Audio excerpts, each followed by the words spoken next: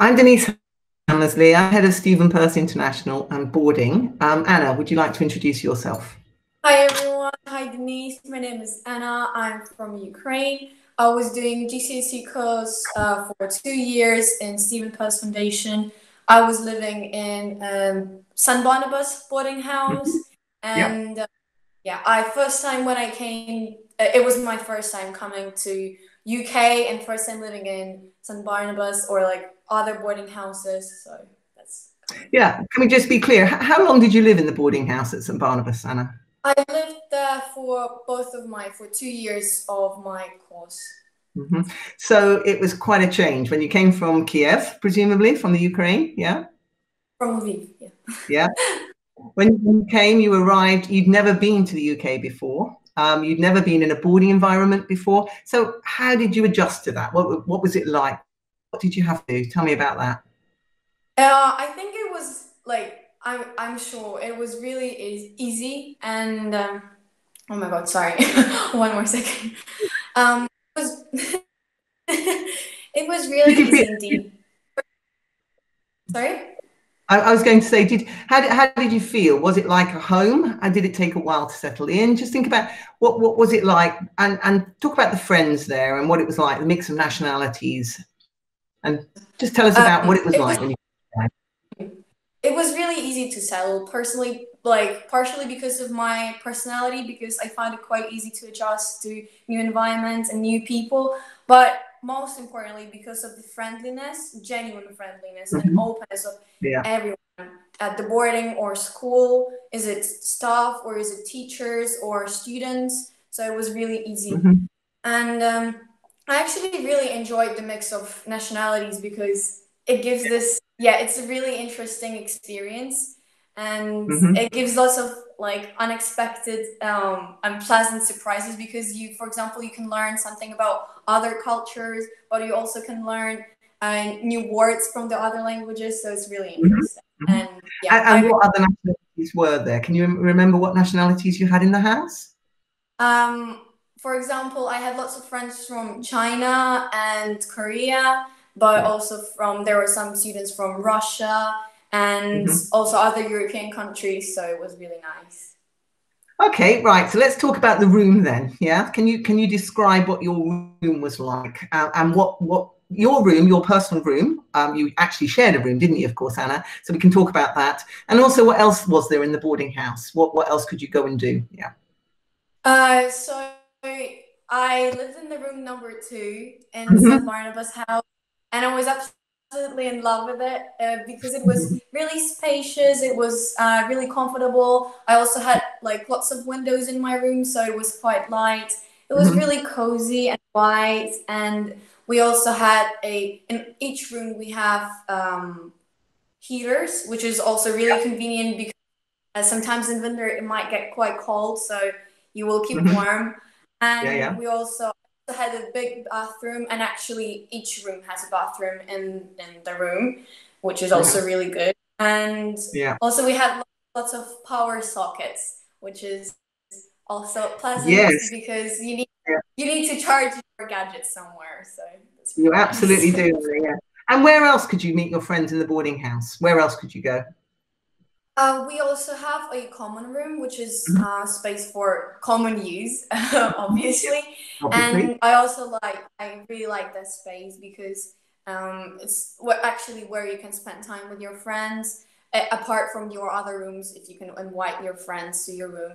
And mm-hmm. in the common room, we have a big TV. We also have two amazing green sofas, which I'm also, mm-hmm. I also really love them because they're super comfortable to lie down after like tired tiring day and mm-hmm. we also have small kitchen and uh, common room because and where you can cook like some basic stuff or store your food like you can use kettle microwave mm-hmm. also a toaster and you also mm-hmm. have small fridge and yeah mm-hmm. like and, and did you feel safe anna how, how did how how does the house how does the staff make you feel safe tell us how you do that um First of all, because we live uh, we live in the small boarding house, which is mm-hmm. close community, so we know everyone like each other.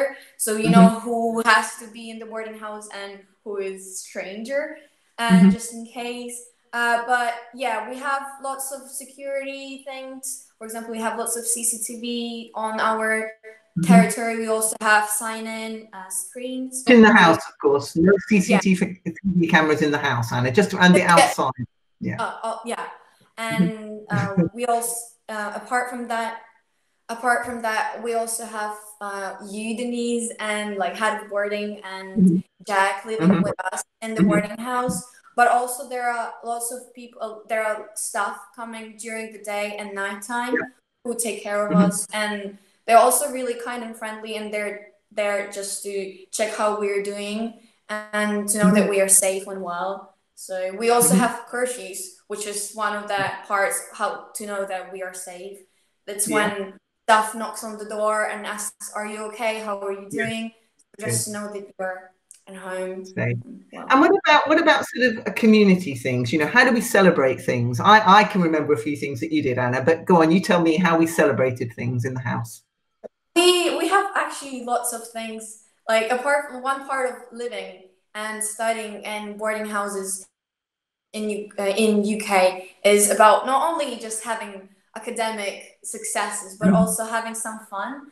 So, mm-hmm. for example, in boarding house in our common room, we sometimes organize um, small like uh, birthday parties for our friends who are mm-hmm. like far away from home, but they also want to have some fun. And it's really nice to, to do because it gives this like close um, close community feel.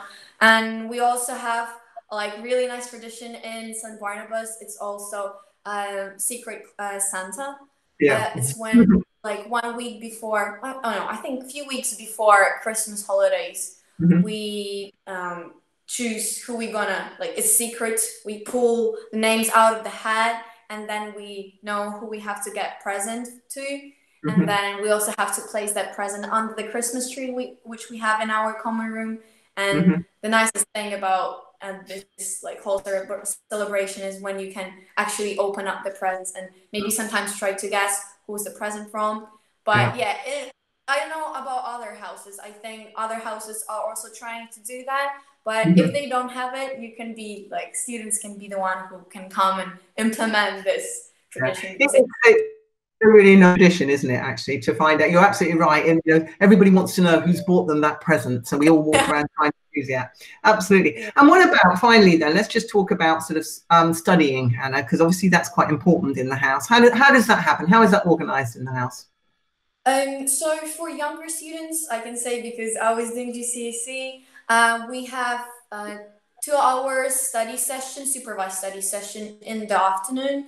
So after the dinner and before the bedtime, from seven until nine o'clock, uh, we mm-hmm. have supervised study where we gather at Kirby's, which is our dining hall, and yep.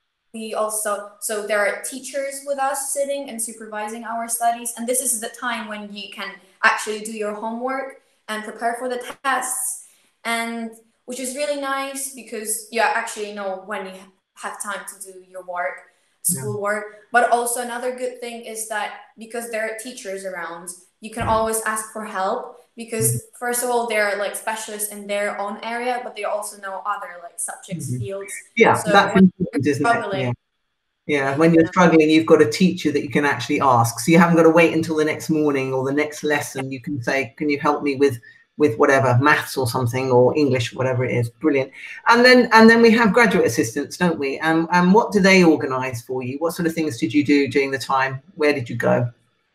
So graduate assistants are also really good. I really love them. They're amazing people because they're younger, so mm-hmm. they also they kind of have like connection with us on like really like age basis. But uh, those are people who actually organize our extracurricular time and like free time. So, for example, uh, our weekend begins on a Friday afternoon after the lessons. Mm-hmm. So on Friday afternoon, uh, we also have um, like time that we spend together, leisure time that we spend together. For example, we can uh, we can have movie nights at Kirby's, or we can have a table like uh, different table games. Yeah, board game. Yeah, board game. Yeah, yeah that's. Thank you. Mm-hmm. Uh, yeah, and we also sometimes like last year we went to the cinema or we went to ice skating, which was also really nice, and they organized it for us. And we also on Saturdays we have a two-hour sports session, uh, which is also really nice because mm-hmm. we go to the nearby um, sports center, which is called Kelsey Kerridge, and we have sports there. For example, volleyball, basketball, or anything else. And the good thing is that also they don't enforce it onto you. You can like propose what to do yourself, and this is mm-hmm. also really nice because you can yeah. do whatever you find it interesting. Interesting. And so, so to summarize all of this, Anna, your experience, you've had two years of living in the boarding house. Um, how has that prepared you for what you want to do going forward? How's that prepared you for university life or for your next part of your education? What do you think? Um, first of all, like what I want to say is that life and like living and mm-hmm. studying in UK in boarding houses, especially, it's amazing experience, which actually teaches you a lot of things because you learn how to travel, you learn how to ask for help, you learn how to mm-hmm. help each other.